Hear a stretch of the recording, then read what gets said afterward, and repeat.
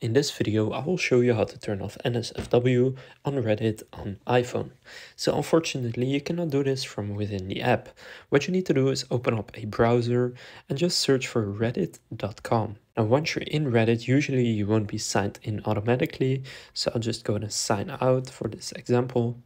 So you will see something like this. So all you need to do is click on the three dots in the top right. Then here click on login or sign up. Then just go and sign into your Reddit account. So then after signing in, what you need to go and do is click on your profile picture in the top right. Now here go and click on settings.